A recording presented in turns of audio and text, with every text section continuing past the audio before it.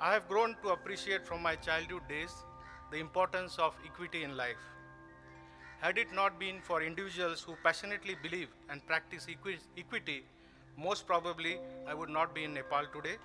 I would not have had the privilege of working for WHO nor access to medical education.